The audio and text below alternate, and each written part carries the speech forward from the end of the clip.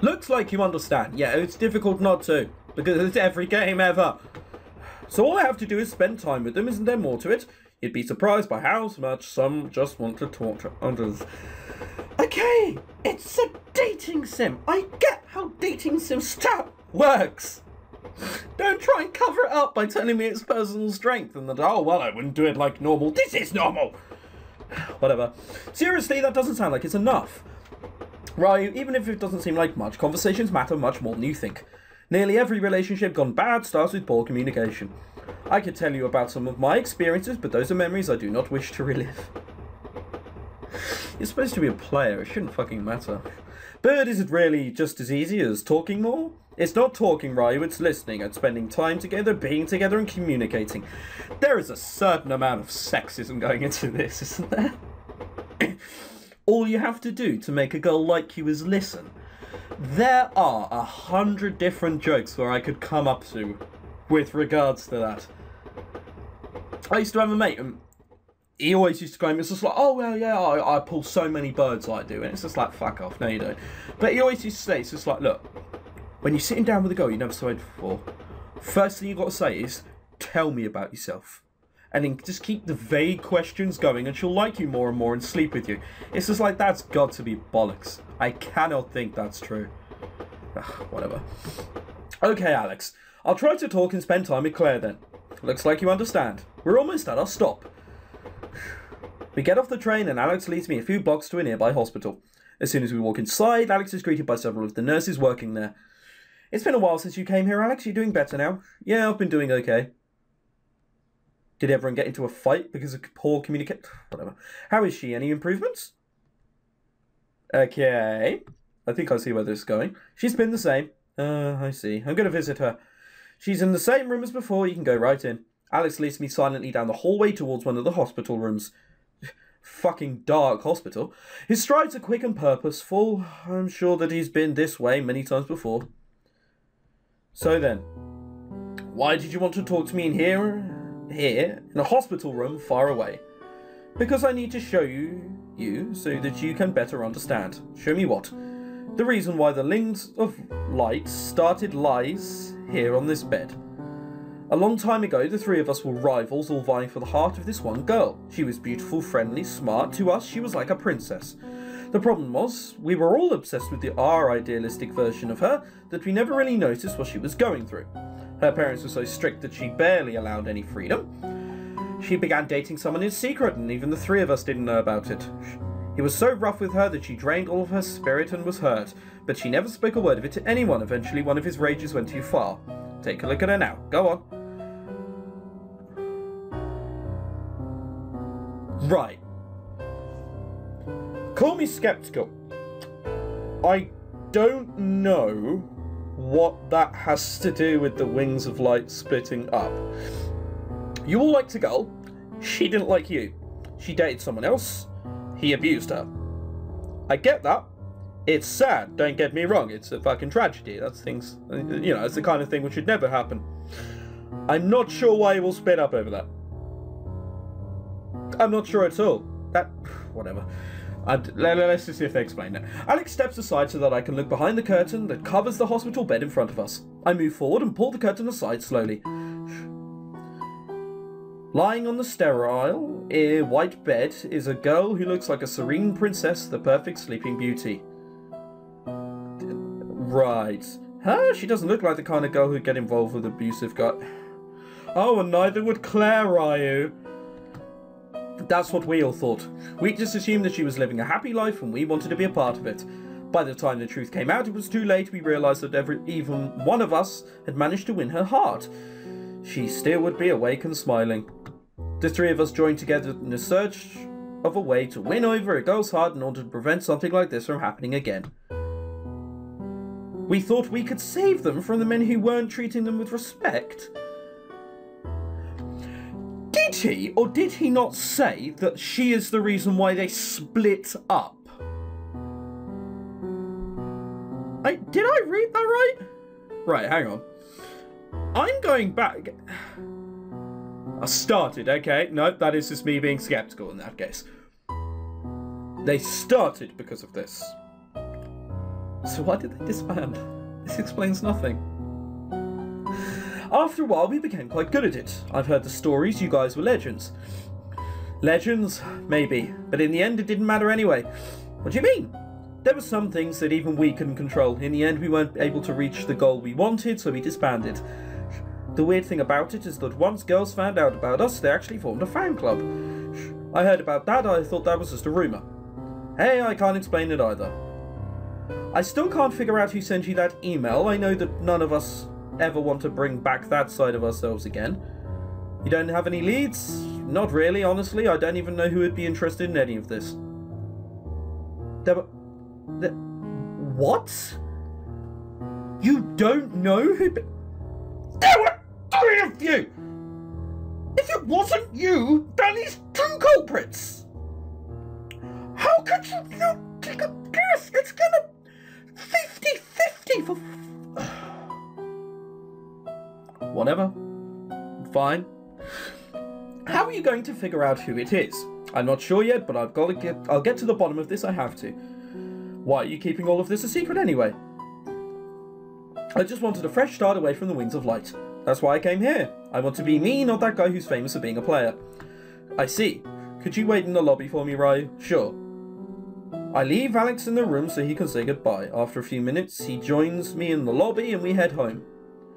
Well, that's it for the day. I hope the trip helped you. Solemn music. Alex, Alex, however, he's fine. He's happy. Honestly never knew something like that happened to you.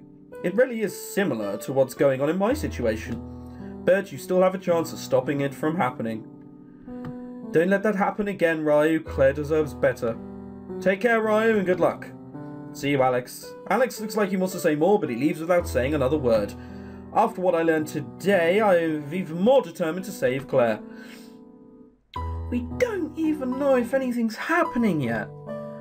Like, that could all be irrelevant. It. You know what? Sure. Let's go on with about it. Let's not get angry. um, right, no, we don't want to do that. We want to read the book, just see if we can do this anymore. Oh shit, okay. Okay, awesome. So I can. So now I've learnt it four times. I should really have a crack at databases again and see where it takes me. The Prince returns! I hear the fanfare as I walk down the royal red carpet, my knights stand at attention to the left and right of me, each holding their wands and staves in a ceremonial position. All hail the prince! All hail the prince! The crowd of my loyal subjects cheer as I continue to walk down. Then my mother, the queen, raises her hands. Everyone immediately falls silent. My loyal subjects, she begins. Should we do this in the voice of the Queen? My loyal subjects. I can't do a, uh, a Queen voice, and the fact that I've got a cold probably uh, negates this somewhat. In the honour of the Prince's return, we shall have a banquet. There will be much food and dance, the latter of which the Prince will be joining. And there will be much rejoicing. There she goes again, forcing me to dance in order to honour her word. I look around at the royal knights and my magic-wielding royal subjects. They all look back at me with excitement. I'm glad that I spent all this time improving my physical strength. no doubt I have a long night of dancing ahead of me. Come, she says, looking at me. Bit forward, Jesus. Take your seats so the preparations for the banquet can begin. Jesus Christ, that's not like.